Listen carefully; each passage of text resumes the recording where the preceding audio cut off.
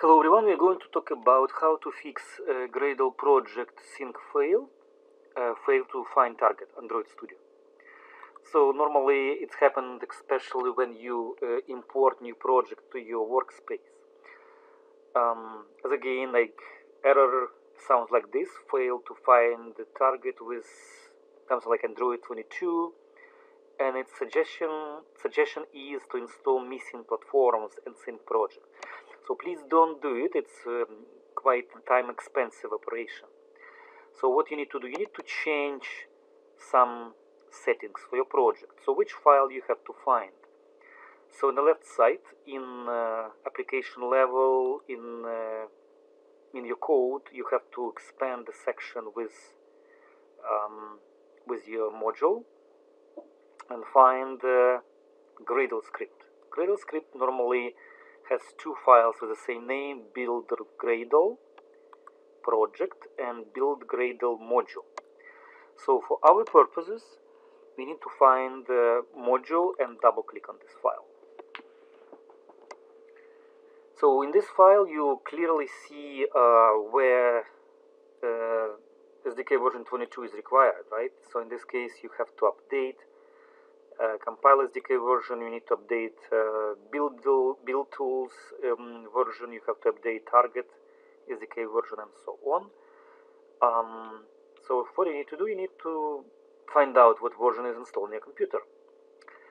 So in order to understand uh, your installed version, you have to go to the tools section, Android menu and uh, click SDK manager in SDK Manager, you see the SDK platforms installed and SDK tools as well. Uh, it's not very good for view uh, this separate items in this mode. So I would suggest to press Launch Standalone SDK Manager. And in this manager, we see that um, we actually have installed Android SDK build tools uh, 2402 and 1 uh, we have installed um, SDK platform 25 and 24 as well. And the REST platform is not installed. Actually, you don't need to install them every time when you're requesting something new, right? So you just need to uh, remember the number of your uh, version. So close this uh, SDK right now and update compile SDK version to 25 uh, build tools remember we had 24 2502 uh, sometimes you, you see like your recommended version is here so you just need to follow recommendations. Uh, target SDK version. So not found and uh, you have to change to 25 and the same in uh, support library. Has to be changed to 25 Alright, so we didn't use this, we just change uh, the 22 to 25. So let's try again to uh, sync the project.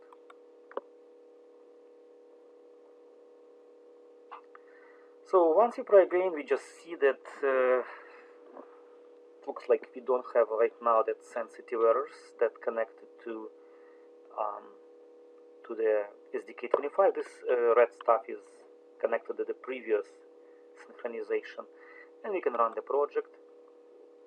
And uh, yeah if the project is runnable it means like uh, the problem is solved right